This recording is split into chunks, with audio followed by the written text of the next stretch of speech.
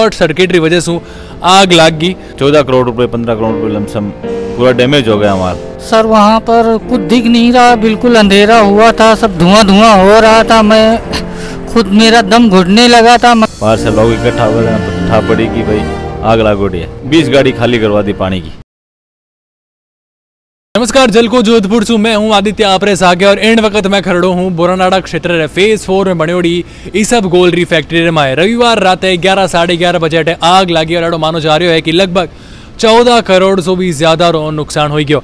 और लारे मारे आप देख सको पूरो ई सब गोलरा जी का बोरा पड़िया उनरे माए राते। शॉर्ट सर्किट की वजह से आग लाग। गई और ज़्यादा जानकारी वास्ते में बैठे बात करूला सुनील जी सु और जी का रहवासी है वहाँ से मैं बात करूला और आप तक पूरी न्यूज़ कवरेज सागे पहुंचाऊला। आप बताओ, आपने आ वारदात कद ठा पड़ी और आप कई कदम उठाए वास्ते अपन रात न लमसम साढ़े ग्यारह, पौने बारह बजे पतो चालू है बाहर से।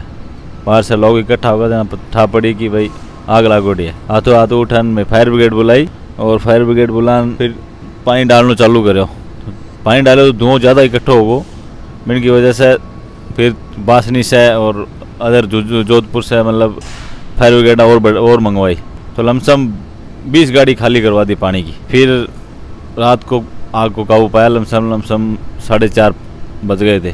चार साढ़े चार। मैं आपसे और पूछनी चाहूँ कि और कितना रुपया नुकसान हुआ है इनमें? रुपया तो नुकसान यूँ है कि चौदह करोड़ रुपये पंद्रह करोड़ रुपये लमसम पूरा डैमेज हो गया माल पूरा माल डैमेज हो गया। और ओ जी को माल है बारे जावन वाला हो या सिर्फ़ जोधपुर वास्ते ही हो? यो बाहर जाने वाला। ये सब गोलरी फैक्ट्री रे सामने दुकान चलावन वाला भंवरलाल जी से मैं बात करूँ वे रात कितनी बजे वो हादसों देखे और उनरे बचे वे कई एक्शन लियो। भंवरलाल जी थे बताओ। देखो ग्यारह बजे हमारे कने पहाड़ी फैक्ट्री में फ़ोन आयो हिंद क्राफ्ट उन माइनू स्टाफ आयो तो और मन फ़ोन करियो तो मैं घरों आयो तो गेट बंद तो। पूरी फैक्ट्री में धुआँ निकल लियो तो गेट रूप कर कूदिया मैं माइने स्टाफ ने बैठो करियो। बहादुर माइने फायर विकेट वास्ते रिको ऑफ़िस। बट हूँ गाड़ी लेने आया था।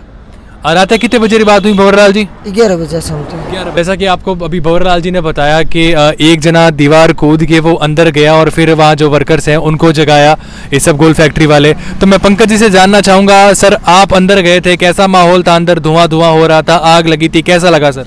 सर वहाँ पर कुछ दिख नहीं रहा बिल्कुल अंधेरा हुआ था सब धुआँ धुआँ हो रहा था। मैं खुद मेरा दम घुटने लगा था, मगर मैं सबको गया, उठाया, ऑफ़िस में सब सो रहे थे, सबको जगाया, उसके बाद सबको बाहर निकाला, उसके बाद सब भीड़ इकट्ठा हो गई, सबको पता पड़ पाया, तब सब फ़ोन किया, हेल्पलाइन नंबर, फिर सौ नंबर पुलिस आई, फिर गाड़ी बुझाने वाली अग्निवीर आए, तब जाके अग्नि पे काबू पाया और मैं संवाददाता आदित्य, कैमरामैन यश के साथ।